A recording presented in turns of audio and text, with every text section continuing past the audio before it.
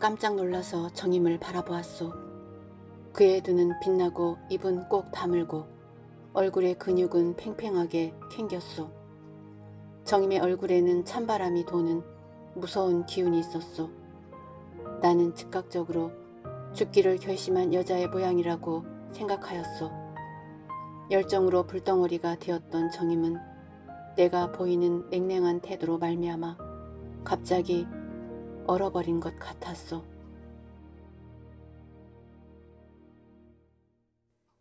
어디를? 하고 나는 정임에 저도 데리고 가세요 하는 담대한 말에 놀라면서 물었소. 어디든지 아버지 가시는 데면 어디든지 저를 데리고 가세요. 저는 아버지를 떠나서는 혼자서는 못 살 것을 지나간 반 달 동안에 잘 알았습니다. 아까 아버지 오셨다 가신 뒤에 생각해 보니까 암만 해도 아버지는 다시 저에게 와 보시지 아니하고 가실 것만 같아요. 그리고 저로 해서 아버지께서는 무슨 큰 타격을 당하신 것만 같으셔요. 처음 배울 적에 벌써 가슴이 뜨끔했습니다. 그리고 여행을 떠나신다는 말씀을 듣고는 반드시 무슨 큰일이 나셨느니라고만 생각했습니다. 그리고 저, 저로 해서 그러신 것만 같고 저를 버리시고 혼자 가시려는 것만 같고 그래서 달려왔더니 여기 써놓으신 편지를 보고 그 편지의 다른 말씀은 어찌 됐는지 내 일기를 보았다 하신 말씀을 보고는 다 알았습니다. 저와 한 방에 있는 애가 암만 해도 어머니 스파인가 봐요. 제가 입원하기 전에도 제 눈치를 슬슬 보고 또 책상 서랍도 뒤지는 눈치가 보이길래 일기책은 늘 새 잠그는 서랍에 넣어 두었는데 아마 제가 정신없이 앓고 누웠는 동안에 제 핸드백에서 새떼를 훔쳐 갔던가 봐요. 그래서는 그 일기책을 꺼내어 서울로 보냈나 봐요. 그걸로 해서 아버지께서는 불명예스러운 누명을 쓰시고 학교 일도 내놓으시게 되고 집도 떠나시게 되셨나 봐요. 다시는 집에 안 돌아오실 양으로 결심을 하셨나 봐요. 아까 병원에서도 하시는 말씀이 모두 유언하시는 것만 같아서 퍽 의심을 가졌었는데 지금 그 쓰시던 편지를 보고는 다 알았습니다. 그렇지만, 그렇지만 하고 웅변으로 내려 말하던 정임은 갑자기 복받치는 열정을 이기지 못하는 듯이 한 번 한숨을 지우고 그렇지만 저는 아버지를 따라가요. 절로 해서 아버지께서는 집도 이루시고 명예도 이루시고 사업도 이루시고 인생의 모든 것을 다 이루셨으니 저는 아버지를 따라가요. 어디를 가시든지 저는 어린 딸로 아버지를 따라다니다가 아버지께서 먼저 돌아가시면 저도 따라 죽어서 아버지 발밑에 묻힐 테예요. 제가 먼저 죽거든 제가 병이 있으니깐 물론 제가 먼저 죽지요. 죽어도 좋습니다. 병원에서 알타가 혼자 죽는 건 싫어요. 아버지 곁에서 죽으면 아버지께서 오 내 딸 정이마 하시고 귀해 주시고 불쌍히 여겨 주시겠죠. 그리고 제 몸을 어디든지 땅에 묻으시고 사랑스러운 내 딸 정임의 무덤이라고 패라도 손수 쓰셔서 세워주시지 않겠습니까? 하고 정임은 비쭉비쭉 하다가 그만 무릎 위에서 엎어져 울고 마오. 나는 다만 죽은 사람 모양으로 반쯤 눈을 감고 앉아 있었소. 가슴 속에는 정임의 곁에서 지지 않는 열정을 품으면서도 정임의 말대로 정임을 데리고 아무도 모르는 곳으로 가버리고 싶으면서도 나는 이 열정의 불길을 내 입김으로 꺼버리지 아니하면 아니 되는 것이었소. 아, 제가 왜 났어요? 왜 하나님께서 저를 세상에 보내셨어요? 아버지의 일생을 파멸시키려 난 것이지요. 제가 지금 죽어버려서 아버지의 명예를 회복할 수 있다면 저는 죽어버릴 테예요. 기쁘게 죽어버리겠습니다. 제가 8살부터 오늘날까지 받은 은혜를 제 목숨 하나로 갚을 수가 있다면 저는 지금으로 죽어버리겠습니다. 그렇지만, 그렇지만, 그렇지만, 그렇지만 저는 다만 얼마라도, 다만 하루라도 아버지 곁에서 살고 싶어요. 다만 하루만이라도. 아버지, 제가 왜 이렇습니까? 네? 제가 어려서 이렇습니까? 미친년이 되어서 이렇습니까? 아버지께서는 아실 테니 말씀해 주세요. 하루만이라도 아버지를 모시고 아버지 곁에서 살았으면 죽어도 한이 없겠습니다. 제 생각이 잘못이에요? 제 생각이 죄인가요? 왜 죄입니까? 아버지, 저를 버리시고 혼자 가시지 마세요. 네? 정임아, 너를 데리고 가마 하고 약속해 주세요. 네? 정임은 아주 담대하게 제가 하고자 하는 말을 다 하오. 그 얌전한 수사판 정임의 속에 어디 그러한 용기가 있었던가. 참 이상한 일이오. 나는 귀여운 어린 계집의 정임의 속에 엉큼한 여자가 들어앉은 것을 발견하였소. 그가 몇 가지 재료, 내가 여행을 떠난다는 것과 제 일기를 보았다는 것, 그것을 종합하여 나와 저와의 새해, 또 그 때문에 어떠한 일이 일어난 것을 추측하는 그 상상력도 놀랐거니와 그러나 내 앞에서는 별로 입도 벌리지 아니하던 그가 이처럼 담대하게 제 속에 있는 말을 거리낌 없이 다 해버리는 용기를 아니 놀랄 수 없었소. 내가 사내여 어린인 내가 도리어 정임에게 리드를 받고 놀림을 받음을 깨달았소. 그러나 정임을 위해서든지 중년 남자의 의신을 위해서든지 나는 의지력으로 도덕력으로 정임을 누르고 훈계하지 아니하면 아니 되겠다고 생각하였소. 정임아 하고 나는 비로소 입을 열어서 불렀소. 내 어성은 장중하였소. 나는 할 수 있는 의염을 다하여 정임아 하고 부른 것이오. 정임아 내 속은 다 알았다. 내 마음, 내 뜻은 그만하면 다 알았다. 내가 나를 그처럼 생각해 주는 것을 고맙게 생각한다. 기쁘게도 생각한다. 그러나 정임아 하고 나는 1층 태도와 소리를 엄숙하게 하여 네가 청하는 말은 절대로 들을 수 없는 말이다. 내가 너를 친딸같이 사랑하기 때문에 나는 너를 데리고 가지 못하는 것이다.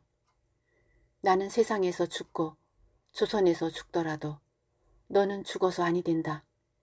차마 너까지는 죽이고 싶지 아니하단 말이다. 내가 어디 가서 없어져 버리면 세상은 내게 씌운 누명이 애매한 줄을 알게 될 것이 아니냐. 그리 되면 너는 조선의 좋은 일꾼이 되어서 일도 많이 하고 또 사랑하는 남편을 맞아서 행복된 생활을 할 수 있을 것이 아니냐. 그것이 내가 네게 바라는 것이다.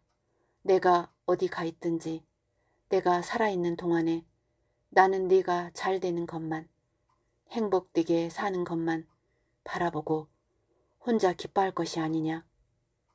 네가 다 옳게 알았다. 나는 네 말대로 조선을 영원히 떠나기로 하였다. 그렇지만은 나는 이렇게 된 것을 조금도 슬퍼하지 아니한다. 너를 위해서 내가 무슨 희생을 한다고 하면 내게는 그것이 큰 기쁨이다. 그뿐 아니라 나는 인제는 세상이 싫어졌다. 더 살기가 싫어졌다. 내가 10여 년 동안 전 생명을 바쳐서 교육한 학생들에게서까지 배척을 받을 때에는 나는 지금까지 살아온 것을 생각만 하여도 진저리가 난다. 그렇지만은 나는 이것이 다 내가 부족한 때문인 줄을 잘 안다. 나는 조선을 원망한다든지 내 동포를 원망한다든가 그럴 생각은 없다.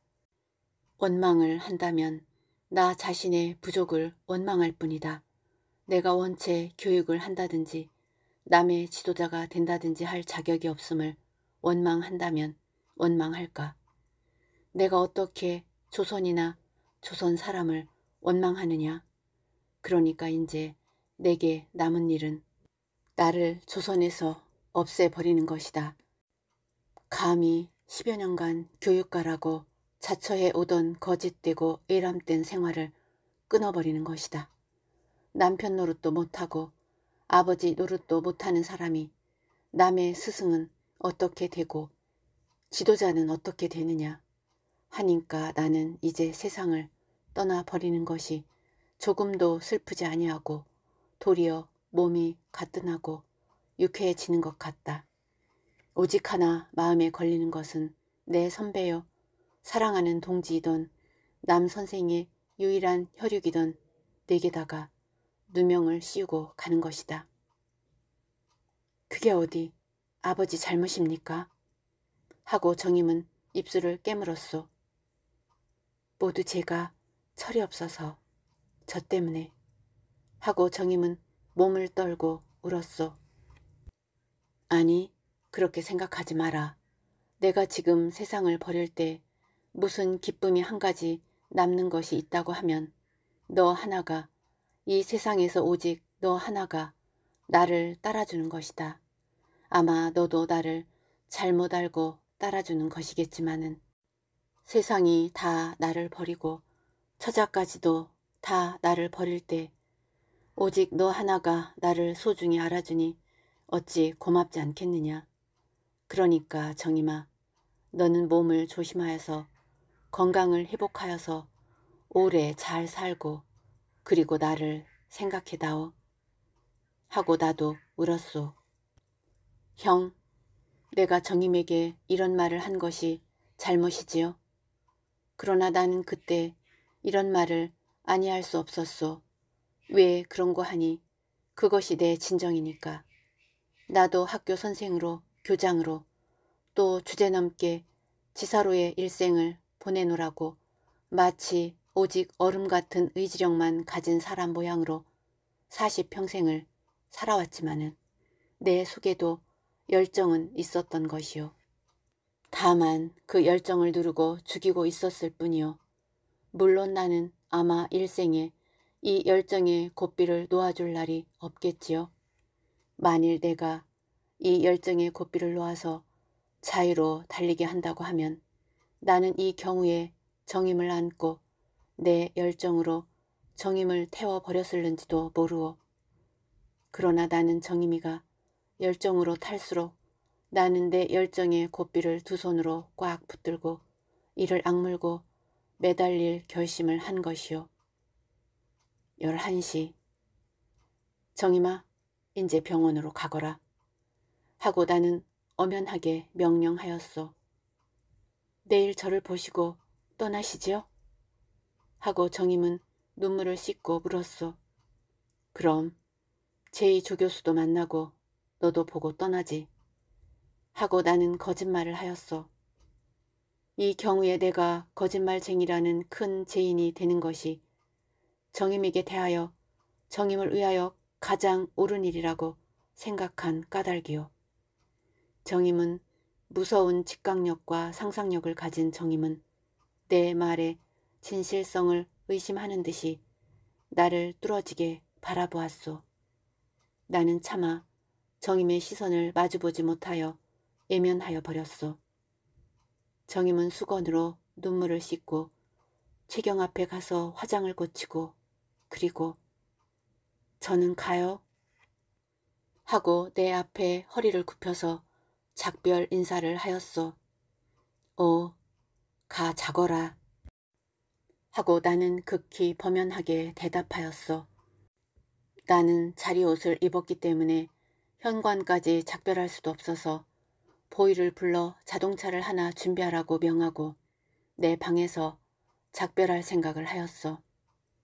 내일 병원에 오세요? 하고 정임은 고개를 숙이고 낙로하였소. 오, 가마. 하고 나는 또 거짓말을 하였소. 세상을 버리기로 결심한 사람의 거짓말은 하나님께서도 용서하시겠지요. 설사 내가 거짓말을 한 죄로 지옥에 간다 하더라도 이 경우의 정임을 위하여 거짓말을 아니할 수가 없지 않소. 내가 거짓말을 아니하면 정임은 아니 갈 것이 분명하였소. 전 가요? 하고 정임은 또 한 번 절을 하였으나 소리를 내어서 울었소. 울지 마라. 몸 상한다.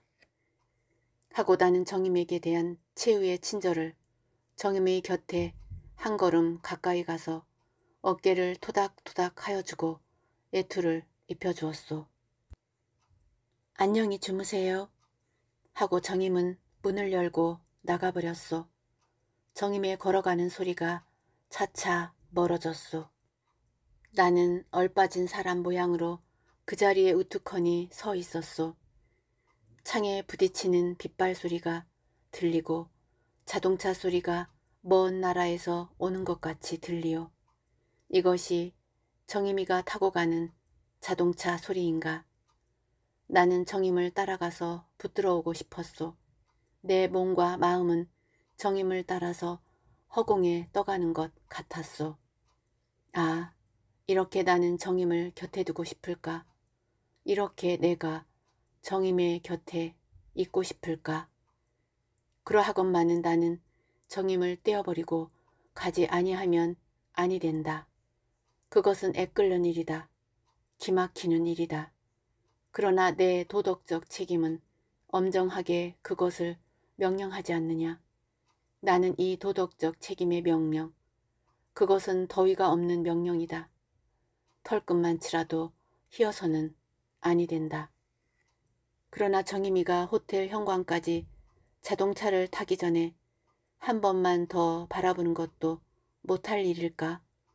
한 번만, 잠깐만 더 바라보는 것도 못할 일일까? 잠깐만, 1분만, 아니 1초만. 한 시그마라는 극히 짧은 동안만 바라보는 것도 못할 일일까? 아, 정임을 한 시그마 동안만 더 보고 싶다. 나는 이렇게 생각하고 벌떡 일어나서 도어의 핸들에 손을 대었소. 안 된다. 옳찬다. 하고 나는 내 소파에 돌아와서 털썩 몸을 던졌소. 최후의 순간이 아니냐. 최후의 순간에 용감히 이겨야 할 것이 아니냐. 아서라, 아서라. 하고 나는 혼자 주먹을 불끈불끈 쥐었소. 이때 짜박짜박하고 걸어오는 소리가 들려 내 가슴은 쌍방망이로 두들기는 것 같이 뛰었소. 설마 정임일까? 하면서도 나는 숨을 죽이고 귀를 기울였소. 그 발자국 소리는 분명 내 문 앞에 와서 그쳤소. 그러고는 소리가 없었소. 내 귀의 환각인가 하고 나는 한숨을 내쉬었소. 그러나 다음 순간 또 두어 번 문을 두드리는 소리가 들렸소. Yes? 하고 나는 대답하고 문을 바라보았소. 문이 열렸소. 들어오는 이는 정임이었소. 웬일이냐? 하고 나는 엄숙한 태도를 지었소. 그것으로 1초에 1천분지 1이라도 다시 한번 보고 싶던 정임을 보고 기쁨을 카모플라주한 것이요. 정임은 서슴지 않고 내 뒤에 와서 내 교의에 몸을 기대며 암만 해도 오늘이 마지막인 것만 같아서 다시 배울 기약은 없는 것만 같아서 가다가 도로 왔습니다. 한 번만 더 뵙고 갈 양으로요. 그래 도로 와서도 들어올까 말까 하고 주저주저 하다가 이것이 마지막인데 하고 용기를 내어서 들어왔습니다. 내일 저를 보시고 가신다는 것이 불어하신 말씀 같고 마지막 배웠고 배운데도 그래도 한 번 더 배웠기만 해도 하고 정임의 말은 끝을 아물지 못하였소. 그는 내 등 뒤에 서 있기 때문에 그가 어떠한 표정을 하고 있는지는 볼 수가 없었소. 나는 다만 아버지의 위험으로 정면을 바라보고 있었을 뿐이요. 정임아, 나도 네가 보고 싶었다. 내 뒤를 따라가고 싶었다. 내 몸과 마음은 내 뒤를 따라서 허공으로 날았다. 나는 너를 한 초라도 한 초의 천분지 일 동안이라도 한 번 더 보고 싶었다. 정임아, 내 진정은 너를 언제든지 내 곁에 두고 싶다. 정임아, 지금 내 생명이 가진 것은 오직 너뿐이다. 이런 말이라도 하고 싶었소. 그러나 이런 말을 하여서는 아니 되요. 만일 내가 이런 말을 하여 준다면 정임이가 기뻐하겠지요. 그러나 나는 정임이에게 이런 기쁨을 주어서는 아니 되요. 나는 어디까지든지 아버지의 위엄, 아버지의 냉정함을 아니 지켜서는 아니 되요. 그렇지만 내 가슴에 타오르는 이름 지울 수 없는 열정의 불길은 내 이성과 의지력을 태워버리려 하오. 나는 눈이 아뜩아뜩함을 깨닫소. 나는 내 생명의 불길이 깜빡깜빡함을 깨닫소. 그렇지만은 아 그렇지만은 나는 이 도덕적 책임의 무상 명령의 발령자인 쓴 잔을 마시지 아니하여서는 아니 되는 것이요. 산, 바위, 나는 정신을 가다듬어서 이것을 염하였소. 그러나 열정의 파도가 치는 곳에 산은 움직이지 아니하오. 바위는 흔들리지 아니하오. 태산과 반석이 그 흰 불길에 타서 재가 되지는 아니하오. 인생의 모든 힘 가운데 열정보다 더 폭력적인 것이 어디 있소? 아마도 우주의 모든 힘 가운데 사람의 열정과 같이 폭력적, 불가항력적인 것은 없으리라. 내성, 병력, 글쎄, 그것에나 비길까. 차라리 천체와 천체가 수학적으로 계산할 수 없는 비상한 속력을 가지고 마주 달려들어서 우리의 귀로 들을 수 없는 큰 소리와 우리가 굳다고 일컫는 금강석이라도 증기를 만들고야 말 만한 열을 바라는 충돌의 순간에나 비길까. 형, 사람이라는 존재가 우주의 모든 존재 중에 가장 비상한 존재인 건 모양으로 사람의 열정의 힘은 우주의 모든 신비한 힘 가운데 가장 신비한 힘이 아니겠소? 대체 우주의 모든 힘은 그것이 아무리 큰 힘이라고 하더라도 저 자신을 깨뜨리는 것은 없소. 그렇지만은 사람이라는 존재의 열정은 능히 제 생명을 깨뜨려 가루를 만들고 제 생명을 살라서 소지를 올리지 아니하오. 여보, 대체 이에서 더 폭력이요. 신비적인 것이 어디 있단 말이오. 이때 내 상태 어깨 뒤에서 열정으로 타고 섰는 정임을 느끼는 내 상태는 바야 흐로 대폭발, 대충돌을 기다리는 아슬하슬한 때가 아니었소. 만일 조금만이라도 내가 내 열정의 고삐에 누춤을 준다고 하면 무서운 대폭발이 일어났을 것이요. 정임아 하고 나는 충분히 마음을 진정해가지고 고개를 옆으로 돌려 정임의 얼굴을 찾았어. 네 하고 정임은 입을 약간 내 귀 가까이로 가져와서 그 시근거리는 소리가 분명히 내 귀에 들리고 그 후끈후끈하는 뜨거운 입김이 내 목과 뺨에 감각되었소. 억지로 진정하였던 내 가슴은 다시 설레기를 시작하였소. 그 불규칙한 숨소리와 뜨거운 입김 때문이었을까.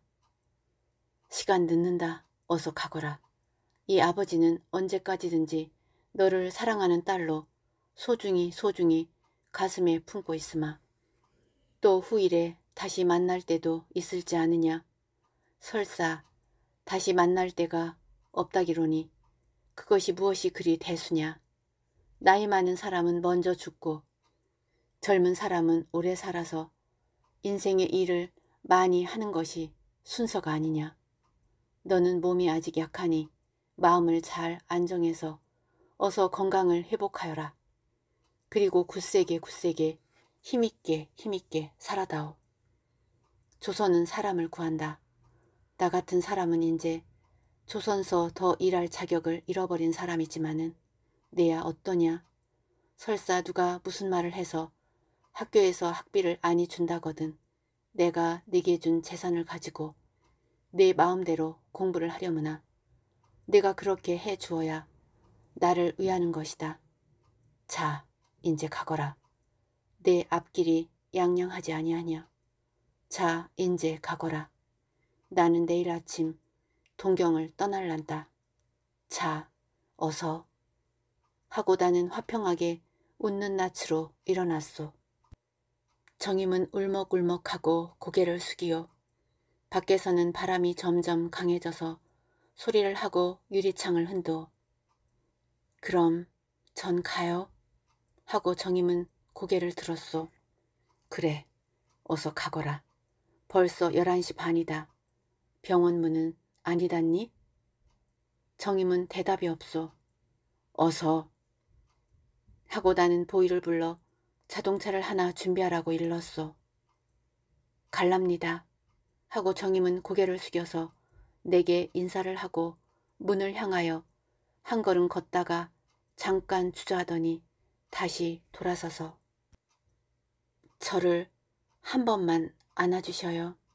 아버지가 어린 딸을 안듯이 한 번만 안아주셔요. 하고 내 앞으로 가까이 와 서오.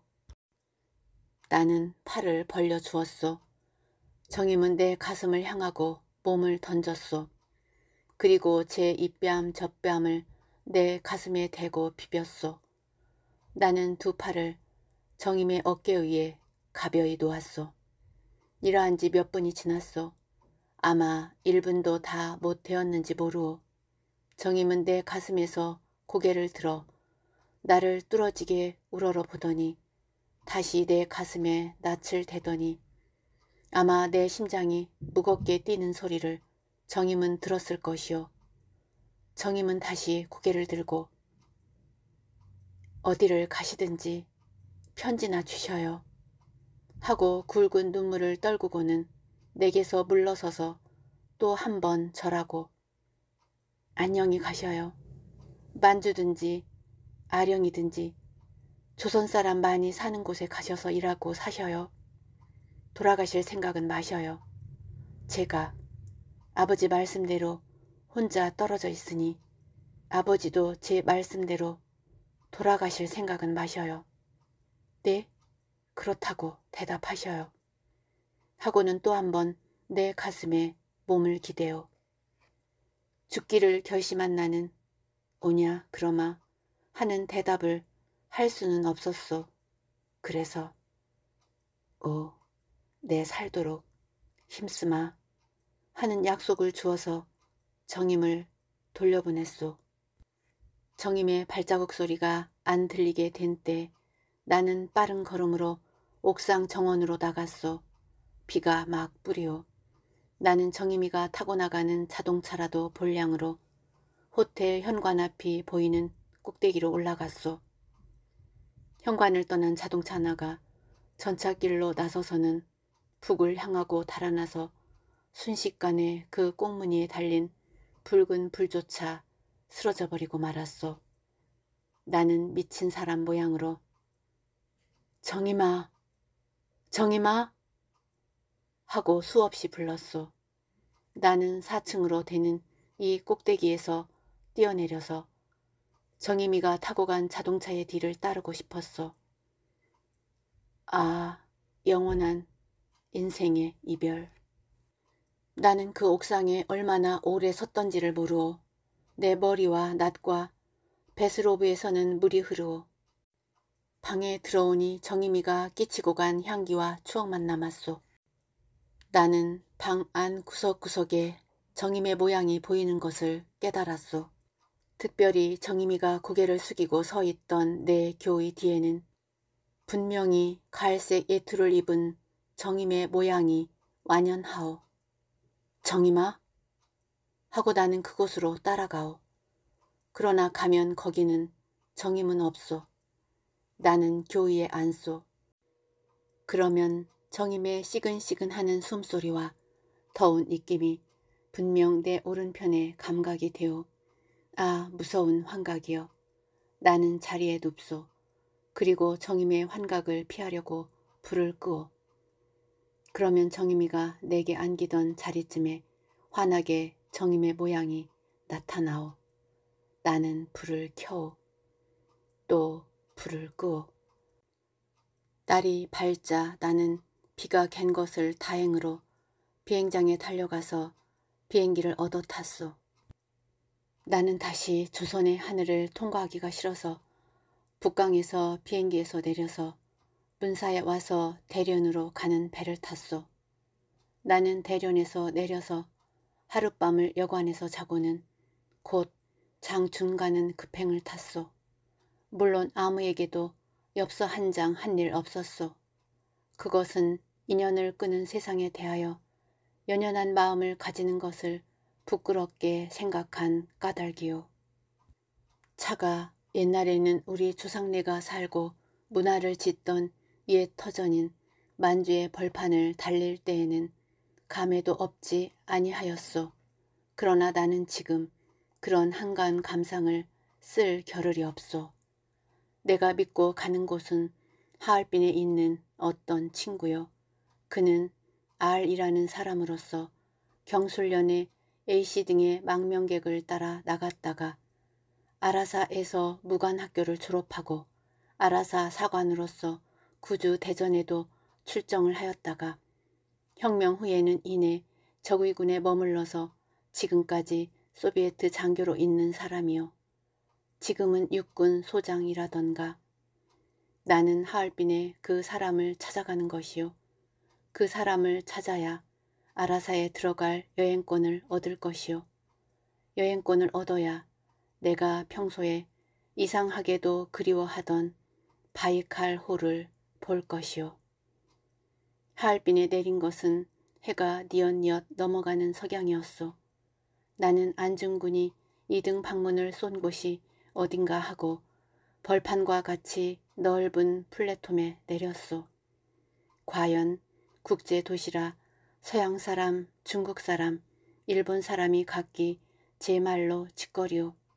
아, 조선 사람도 있을 것이오마는 다들 양복을 입거나 청복을 입거나 하고 또 사람이 많은 곳에서는 말도 잘 하지 아니하여 아무쪼록 조선 사람인 것을 표시하지 아니하는 판이라. 그 골격과 표정을 살피기 전에는 어느 것이 조선 사람인지 알 길이 없소.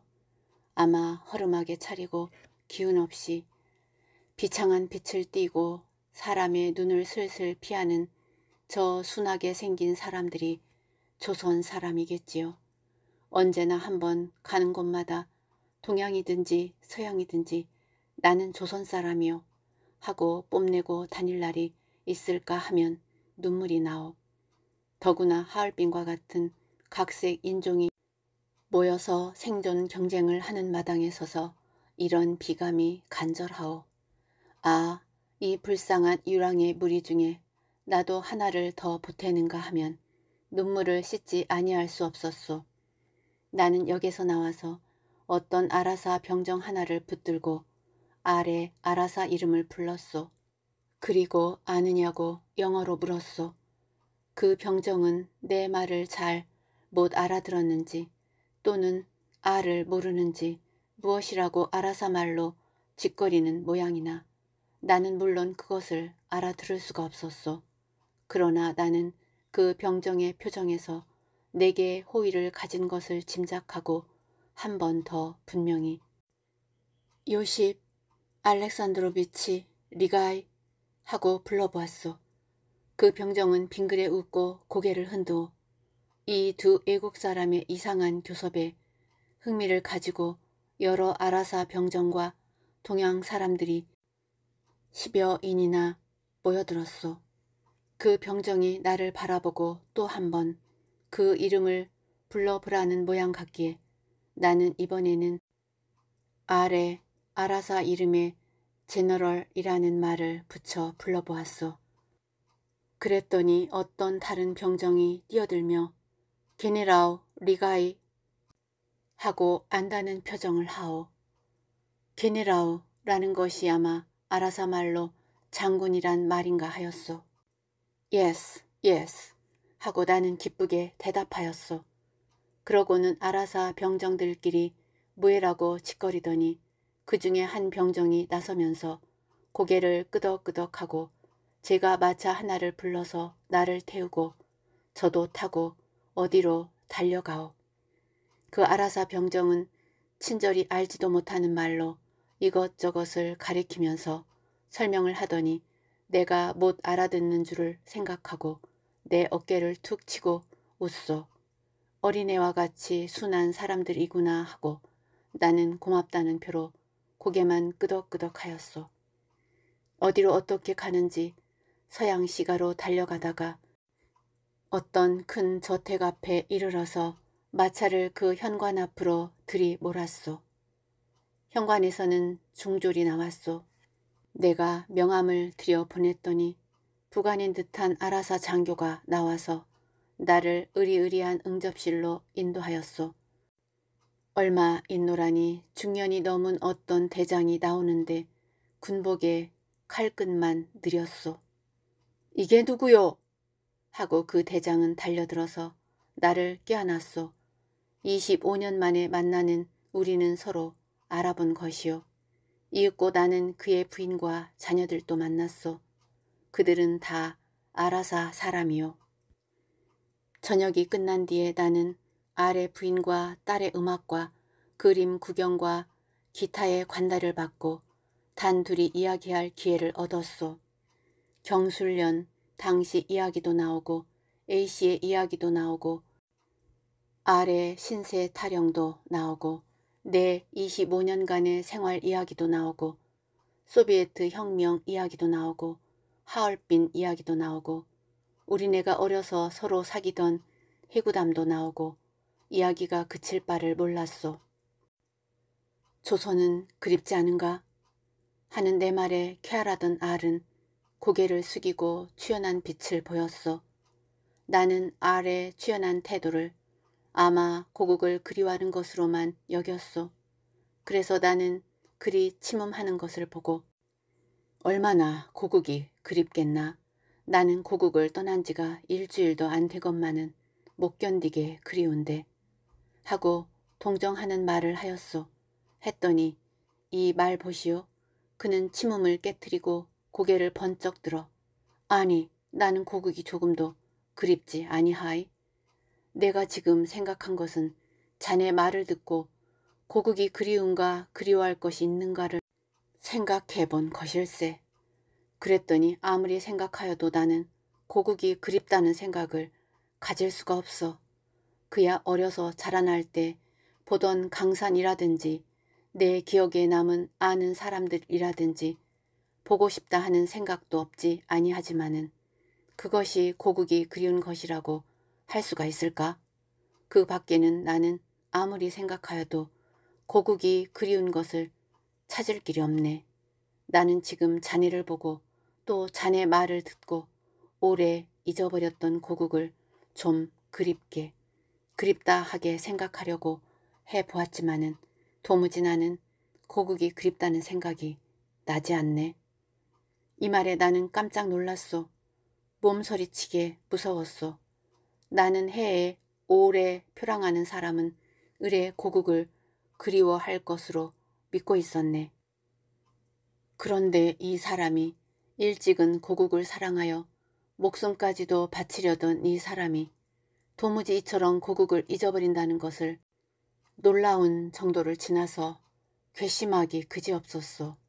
나도 비록 조선을 떠난다고 영원히 버린다고 나서기는 했지만은 나로는 죽기 전에는 아니 비록 죽더라도 잊어버리지 못할 고국을 잊어버린 아래 심사가 난측하고 원망스러웠어. 고국이 그립지가 않아? 하고 아래게 묻는 내 어성에는 격분한 빛이 있었어. 이상하게 생각하시겠지. 하지만 고국에 무슨 그리울 것이 있단 말인가. 그 빈대 끓는 오막살이가 그립단 말인가? 나무 한 개 없는 산이 그립단 말인가? 물보다도 모래가 많은 다 늙어 빠진 개천이 그립단 말인가. 이 무기력하고 가난한 시기 많고 싸우고 하는 그 백성을 그리워한단 말인가? 그렇지 아니하면 무슨 그리워할 음악이 있단 말인가? 미술이 있단 말인가? 문학이 있단 말인가? 사상이 있단 말인가? 사모할 만한 인물이 있단 말인가? 날더러 고국의 무엇을 그리워하란 말인가? 나는 조국이 없는 사람일세. 내가 소비에트 군인으로 있으니 소비에트가 내 조국이겠지. 그러나 진심으로 내 조국이라는 생각은 나지 아니하네. 하고 저녁 먹을 때 약간 붉었던 알의 얼굴은 이상한 흥분으로 더욱 붉어지요.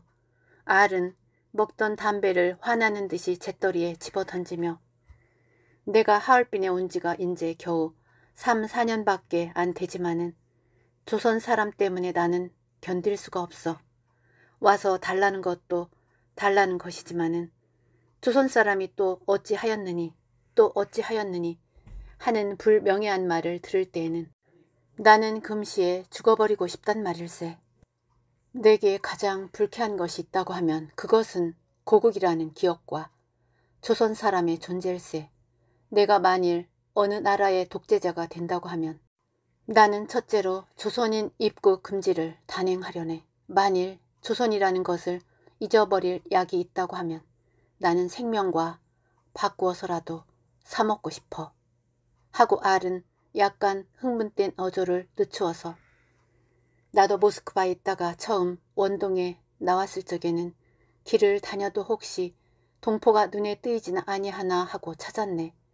그래서 어디서든지 동포를 만나면 반가이 손을 잡았지.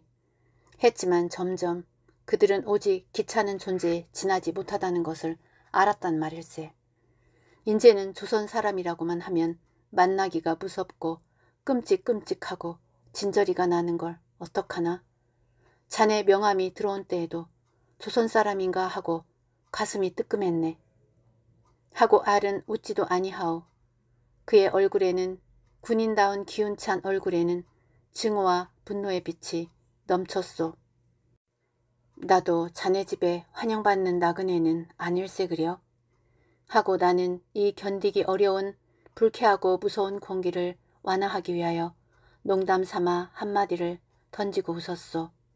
나는 알의 말이 과격함에 놀랐지만은 또 생각하면 알이 한말 가운데서 들을 만한 이유도 없지 아니하오. 그것을 생각할 때 나는 알을 괘씸하게 생각하기 전에 내가 버린다는 조선을 위하여서 가슴이 아팠소. 그렇지만 이제 나 따위가 가슴을 아파한대야 무슨 소용이 있소. 조선에 남아 계신 형이나 아래 말을 참고 삼아 쓰시기 바라오. 어째서나 나는 알에게 목적한 여행권을 얻었소. 알에게는 다만 나는 피곤한 몸을 좀 정양하고 싶다. 나는 내가 평소에 즐겨하는 바이칼 호반에서 눈과 얼음의 한 겨울을 지내고 싶다는 것을 여행의 이유로 삼았소. 알은 나의 초췌한 모양을 짐작하고 내 핑계를 그럴듯하게 아는 모양이었소. 그리고 나더러 이왕 정양하려거든 카프카 지방으로 가거라. 거기는 기후 풍경도 좋고 또 여행은의 설비도 있다는 것을 말하였소. 나도 톨스토이의 소설에서 기타의 여행기 등 속에서 이 지방에 관한 말을 못 들은 것이 아니나 지금 내 처지에는 그런 따뜻하고 경치 좋은 지방을 가릴 여유도 없고 또 그러한 지방보다도 눈과 얼음과 바람의 시베리아의 겨울이 합당한 듯 하였소. 그러나 나는 아래 호의를 굳이 사양할 필요도 없어서 그가 써주는 대로 소개장을 다 받아두었소. 그는 나를 천암 매부 간이라고 소개해 주었소. 나는 모스크바 가는 다음 급행을 기다리는 사흘 동안 아래 집에 손이 되어서 알 부처의 친절한 대우를 받았소. 그 후에는 나는 알과 조선에 관한 토론을 한 일은 없지만은 알이 이름 지어 말할 때에는 조선을 잊었노라. 그리워할 것이 없노라. 하지만은 무의식적으로 말을 할 때에는 조선을 못 잊고 또 조선을 여러 점으로 그리워하는 양을 보았소. 나는 그것으로서 만족하게 여겼소. 나는 금요일 오후 3시 모스크바 가는 급행으로 하얼빈을 떠났소. 역두에는 알과 알의 가족이 나와서 꽃과 과일과 여러 가지 선물로 나를 전송하였소. 알과 알의 가족은 나를 정말 형제 예로 대우하여 차가 떠나려 할 때에는 포옹과 키스로 작별하여 주었소. 이날은 퍽 따뜻하고 일기가 좋은 날이었소. 하늘에 구름 한 점, 땅에 바람 한 점 없이 마치 늦은 봄날과 같이 따뜻한 날이었소. 차는 떠났소. 판다는 등 안 판다는 등 말썽 많은 동중로의 국제열차에 몸을 의탁한 것이요. 송화강의 철교를 건너오. 아, 그리도 낯익은 송화강. 송화강이 왜 낯이 익소? 이 송화강은 불암산의 근원을 바라여 광막한 북만주의 사람도 없는 벌판을 혼자 소리도 없이 흘러가는 것이 내 신세와 같소. 이 북만주의 벌판을 만든 자가 송화강이지만은 나는 그만한 힘이 없는 것이 부끄러울 뿐이요. 이 광막한 북만의 벌판을 내 손으로 개척하여서 조선 사람의 낙원을 만들자 하고 뽐내어 볼까. 그것은 형이 하시오. 내 어린 것이 잘하거든 그놈에게나 그러한 생각을 넣어주시오. 동양의 국제적 괴물인 하얼빈 시가도 까맣게 안개에서 쓰러져 버리고 말았소. 그러나 그 시가를 싼 까만 기운이 국제적 풍운을 포장한 것이라고 할까요? 가도 가도 벌판, 서리 맞은 마른 풀 바다, 실개천 하나도 없는 메마른 사막, 어디를 보아도 산 하나 없으니 하늘과 땅이 착 달라붙은 듯한 천지, 구름 한 점 없건만은 그 큰 태양 가지고도 미처 다 비추지 못하여 지평선 호를 그린 지평선 위에는 항상 황혼이 떠도는 듯한 세계, 이 속으로 내가 몸을 담은 열차는 서쪽으로 서쪽으로 해가 가는 걸음을 따라서 달리고 있어 열차가 달리는 바퀴 소리도 반영할 곳이 없어 힘없는 한숨같이 쓰러지고 마오. 기쁨 가진 사람이 지루해서 못 견딜 이 풍경은 나같이 수심 가진 사람에게는 가장 공상의 말을 달리기에 합당한 것이요. 이곳에도 산도 있고 냇물도 있고 살림도 있고 꽃도 피고 날짐승, 길짐승이 날고 기던 때도 있었겠지요. 그러던 것이 몇만 년 지나는 동안에 산은 낮아지고 골은 높아져서 마침내 이 꼴이 된 것인가 하오. 만일 큰 힘이 있어 이 광야를 파낸다 하면 물 흐르고 고기 놀던 강과 웃고 울던 생물이 살던 자치가 있을 것이요. 아, 이 모든 기억을 꽉 품고 죽은 듯이 잠잠한 광야에 내가 탄 차가 F역에 도착하였을 때는 북만주 광야의 석양의 아름다움은 그 극도에 달한 것 같았어. 동긋한 지평선 위에 거의 걸린 커다란 해. 아마 그 신비하고 장엄함이 내 경험으로는 이곳에서 밖에는 볼 수 없는 것이라고 생각하오. 이글이글 이글이글 그러면서도 둥글다는 채모를 변치 아니하는 그 지는 해. 게다가 먼 지평선으로부터 기어드는 황후는 인제는 대지를 거의 다 덮어버려서 마른 풀로 된 지면은 가뭇가뭇한 빛을 띠고 사막에 가는 모래를 머금은 지는 해의 광선을 반사하여서 대기는 짙은 자줏빛을 바탕으로 한 가지각색의 명암을 가진 오색이 영롱한 도무지 내가 일찍 경험해보지 못한 색채의 세계를 이루었소. 아, 좋다. 그 속에 순같이 빛나는 수없는 작고 큰 호수들의 빛, 그 속으로 날아오는 수없고 이름 모를 새들의 때도 이 세상의 것이라고는 생각하지 아니하오. 나는 거의 무의식적으로 차에서 뛰어내렸소. 거의 떠날 시간이 다 되어서 짐의 일부분은 미쳐 가지지도 못하고 뛰어내렸소. 반쯤 미친 것이요. 정거장 앞 조그만 아라사 사람의 여관에다가 짐을 맡겨버리고 나는 단장을 끌고 철도 선로를 뛰어 건너서 호수의 수은 빛 나는 곳을 찾아서 지향 없이 걸었소. 한 호수를 가서 보면 또 저편 호수가 더 아름다워 보이요. 원컨대 저 지는 애가 다 지기 전에 이 광야에 있는 호수를 다 돌아보고 싶소.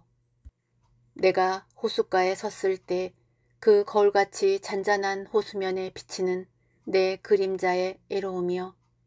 그러나 아름다움이요.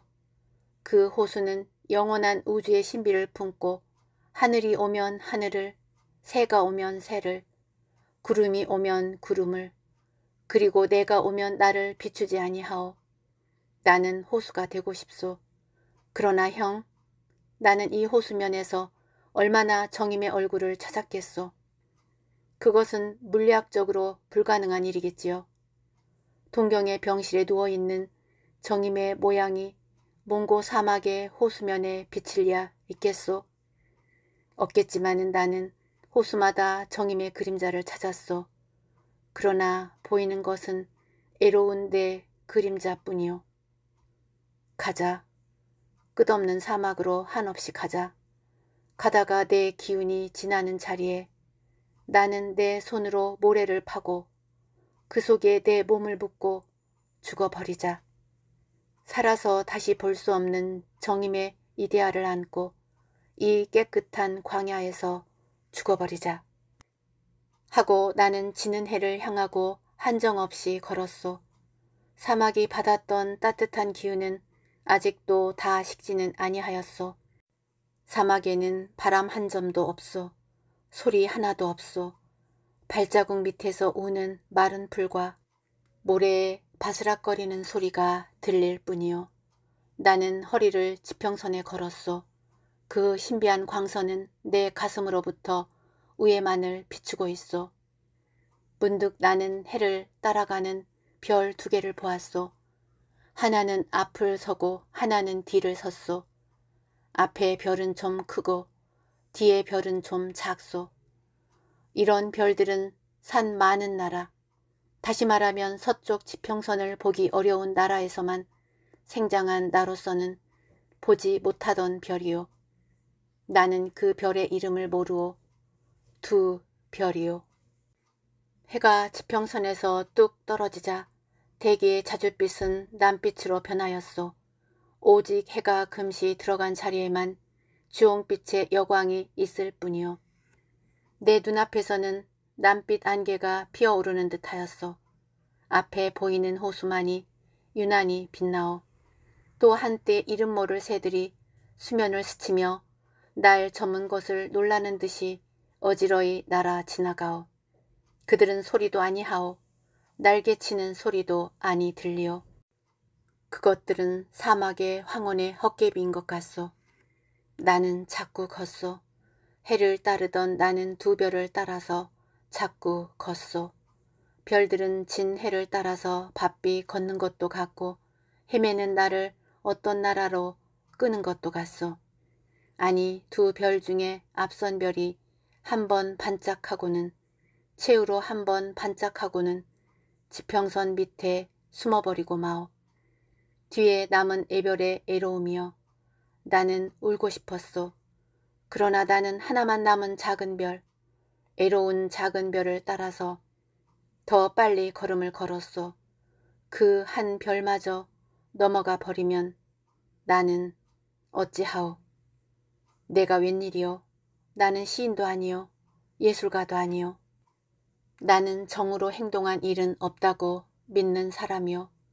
그러나 형, 이때 미친 것이 아니요.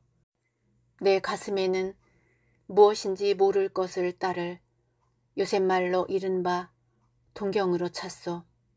아, 저 작은 별. 그것은 지평선에 닿았소. 아, 저 작은 별. 저것마저 넘어가면 나는 어찌하나.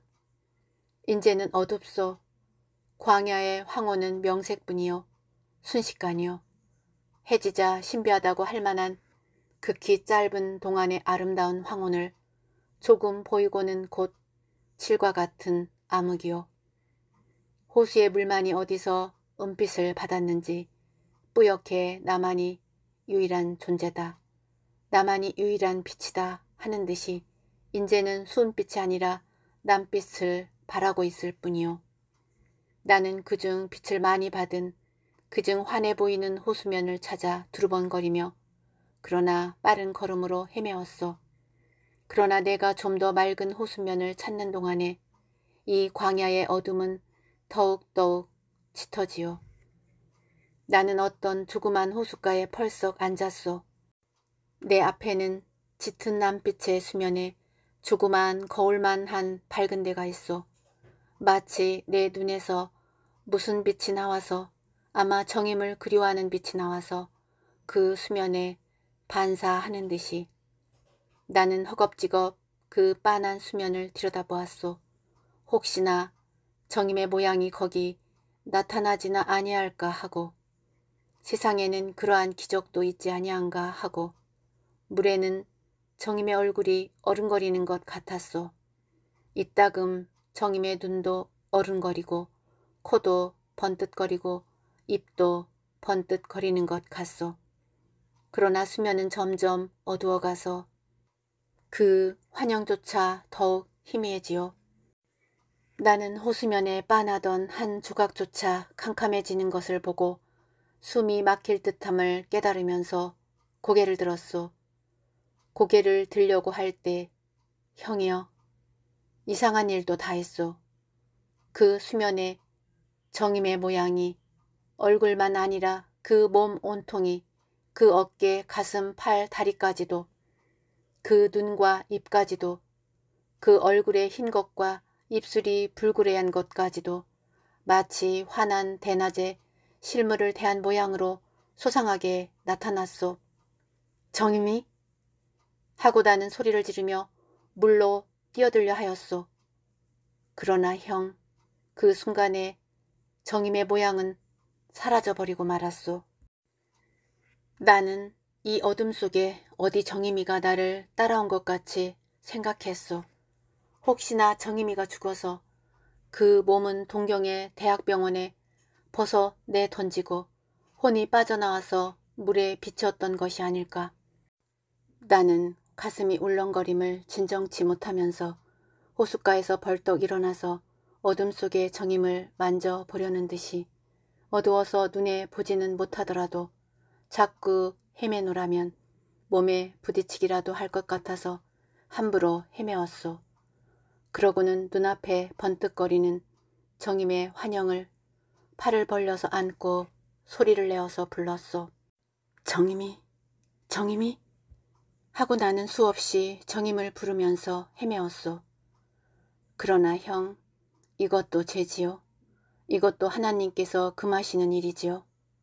그러길래 광야에 아주 어둠이 덮이고 새까만 하늘에 별이 총총하게 나고는 영 정임의 헛 그림자조차 아니 보이지요.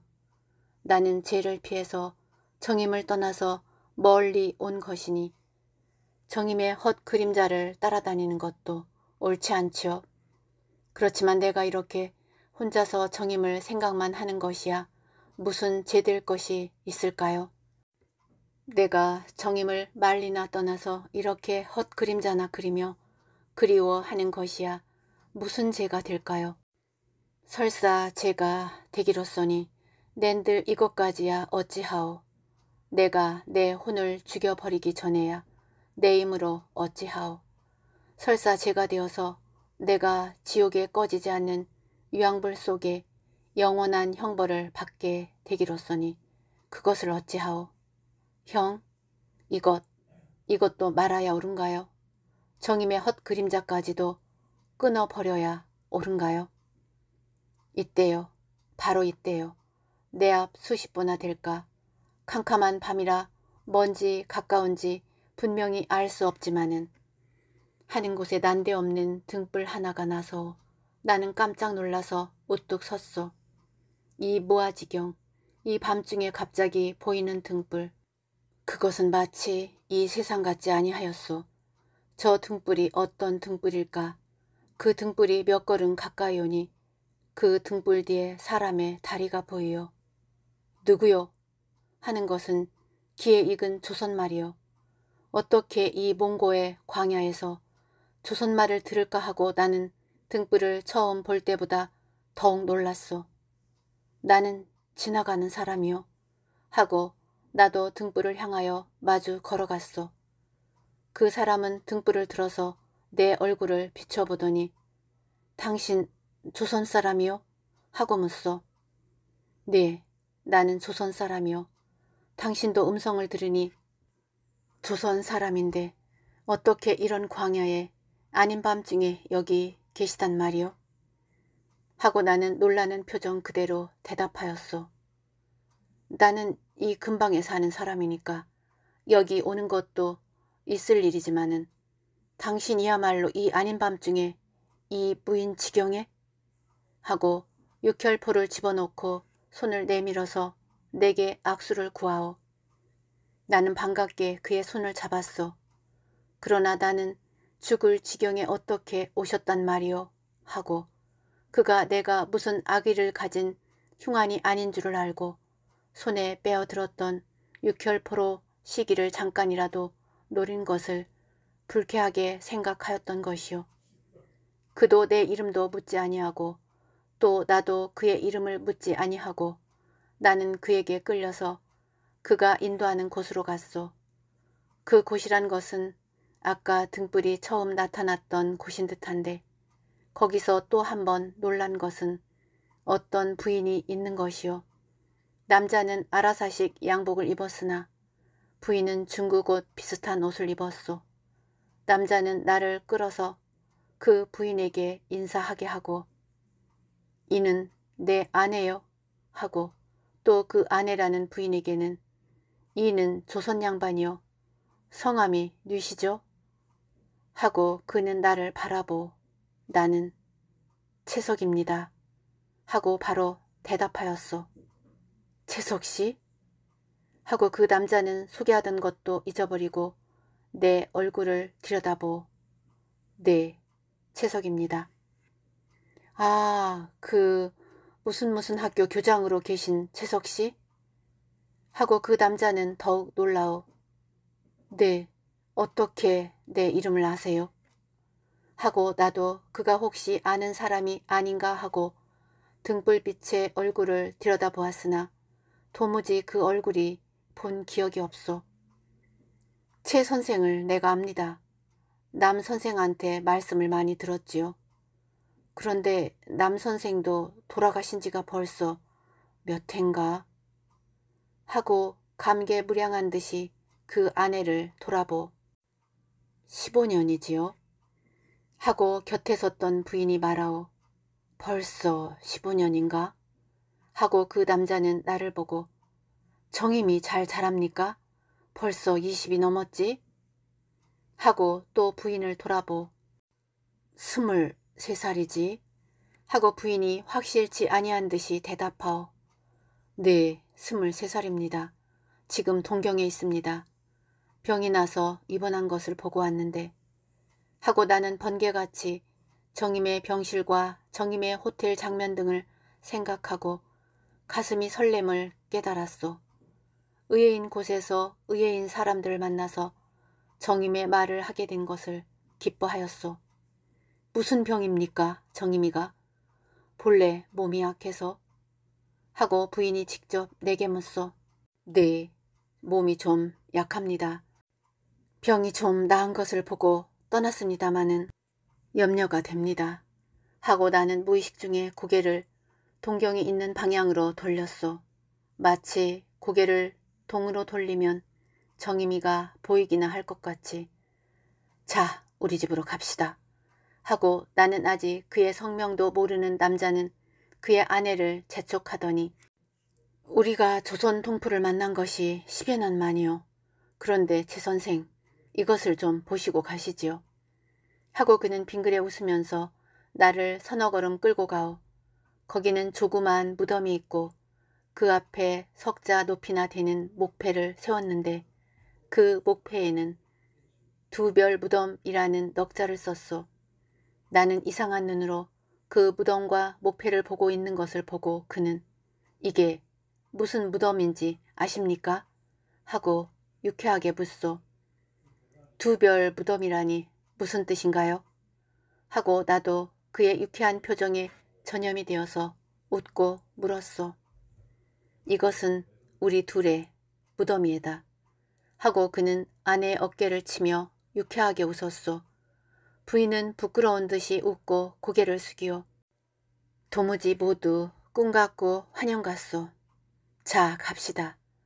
자세한 말은 우리 집에 가서 합시다. 하고 서너 걸음 어떤 방향으로 걸어가니 거기는 말을 세 필이나 맨 마차가 있어. 몽고 사람들이 가족을 싣고 수초를 따라 돌아다니는 그러한 마차요. 사짜리로 홍혜영의 지붕을 만들고 그 속에 들어가 앉게 되었소. 그의 부인과 나와는 이 지붕 속에 들어앉고 그는 손수 어자대에 앉아서 입으로 쭈쭈쭈쭈 하고 말을 모으 등불도 꺼버리고 캄캄한 속으로 달리오. 불이 있으면 군대에서 의심을 하죠. 도적놈이 엿보지요. 게다가 불이 있으면 도리어 앞이 안 보인단 말요. 쯧쯧쯧쯧 하는 소리가 들리어. 대체 이 사람은 무슨 사람인가? 또 이 부인은 무슨 사람인가 하고 나는 어두운 속에서 혼자 생각하였어. 다만 잠시 본 인상으로 보아서 그들은 행복된 부부인 것 같았어. 그들이 무엇하러 이 아닌 밤중에 광야에 나왔던가? 또 그 이상야릇한 두별 무덤이란 무엇인가? 나는 불현듯 집을 생각하였소. 내 아내와 어린 것들을 생각하였소. 가정과 사회에서 쫓겨난 내가 아니요. 쫓겨난 자의 생각은 언제나 슬픔뿐이었소. 난 내 아내를 원망치 아니하오. 그는 결코 악한 여자가 아니오. 다만 보통 여자요. 그는 질투 때문에 이성의 힘을 잃은 것이요. 여자가 질투 때문에 이성을 잃는 것이 천직이 아닐까요?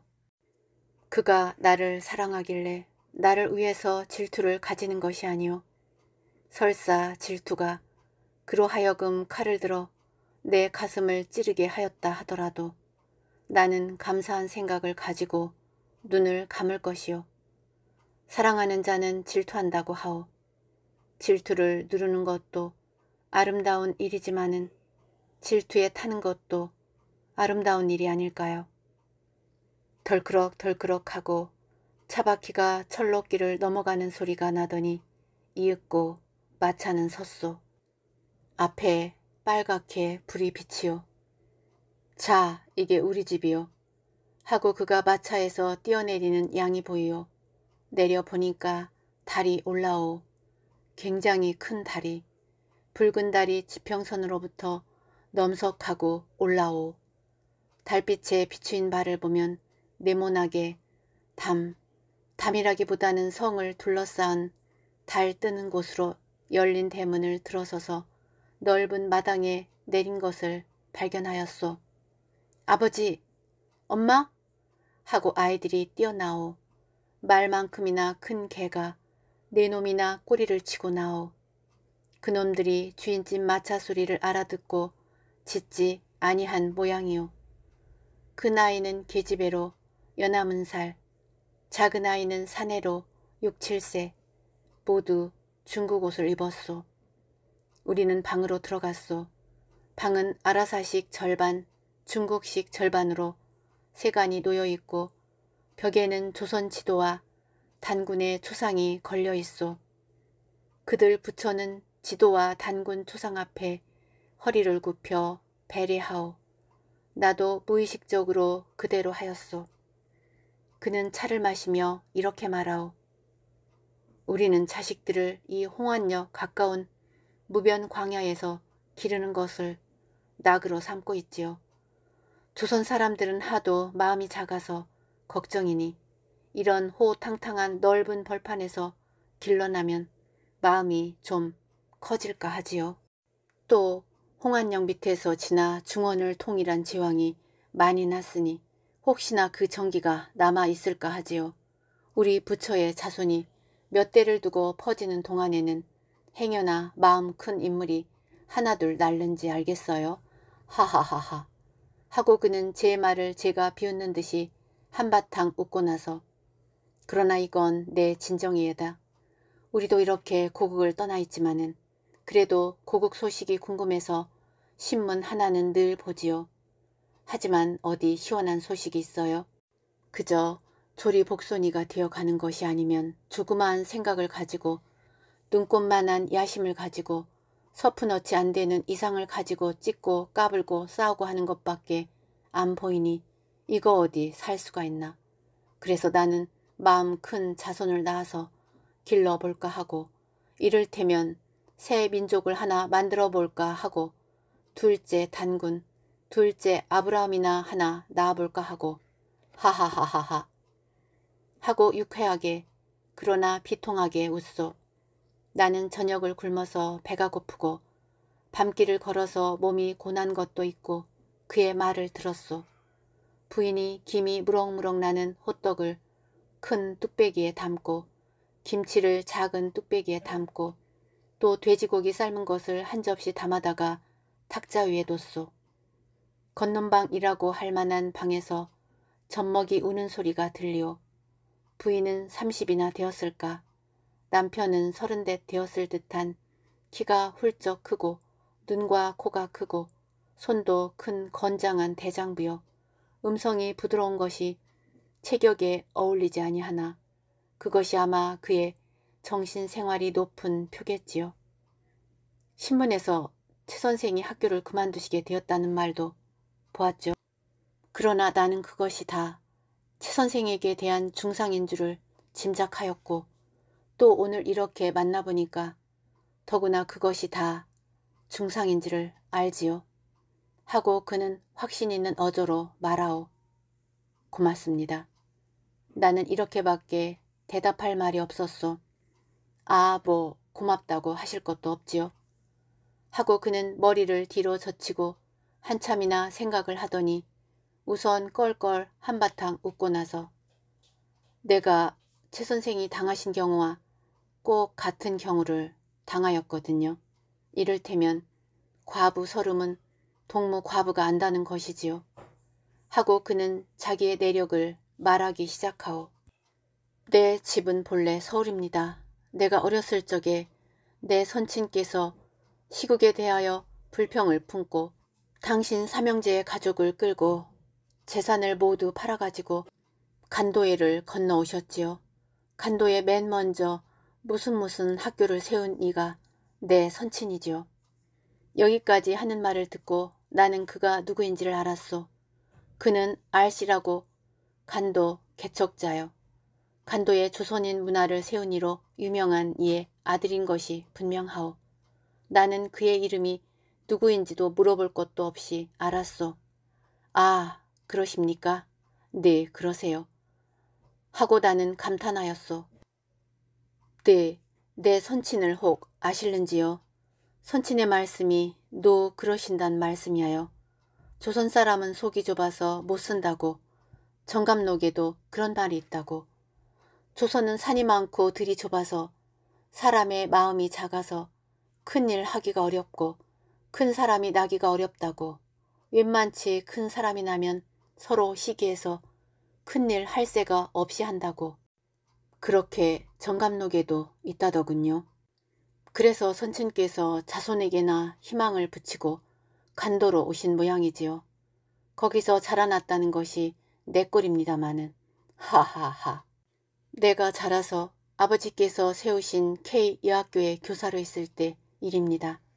지금 내 아내는 그때 학생으로 있었고 그러자 내 아버지께서 재산이 다 없어져서 학교를 독담하실 수가 없고 또 얼마 안니해서 아버지께서 돌아가시고 보니 학교에는 세력 다툼이 생겨서 아버지의 후계자로 추정되는 나를 배척하게 되었단 말씀이요. 거기서 나를 배척하는 자료를 삼은 것이 나와 지금 내 아내가 된 학생의 관계란 것인데 이것은 전혀 묵은 지설인 것은 말할 것도 없어. 나도 총각이요. 그는 처녀니까 혼인을 하자면 못할 것도 없지만은 그것이 사제 관계라면 중대 문제거든. 그래서 나는 단연히 사직을 하고 내가 사직한 것은 제 죄를 승인한 것이라 하여서 그 학생 지금 나 아내도 출교 처분을 당한 것이요.